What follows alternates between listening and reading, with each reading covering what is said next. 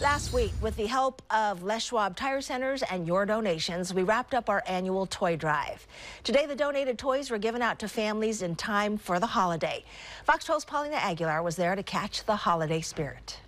The holiday season is in full swing at the Beaverton Elks Lodge, also known as Santa's Workshop, filled with dozens of Santa's helpers. We are creating Christmas boxes for our community neighbors who maybe wouldn't have a great Christmas if we weren't here to help. Canned goods, fresh produce, and toys were handed out. It's what the season's all about.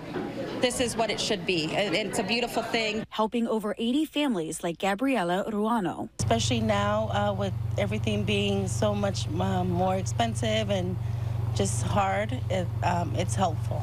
This is Ruano's second time receiving a Christmas box and says she's grateful for the help. Kids were excited to open their gifts on Christmas. Everything's possible this time of year. My eight-year-old actually asked for a treadmill, believe it or not. Surprise, surprise. um, and then my nine-year-old, of course, asked for a Nintendo Switch and clothes and for a nice dinner and for family to be full and healthy.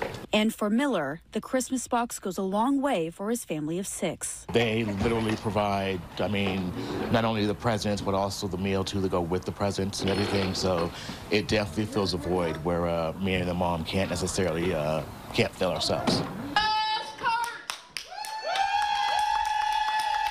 Reporting in Beaverton, Paulina Aguilar, Fox 12 Oregon.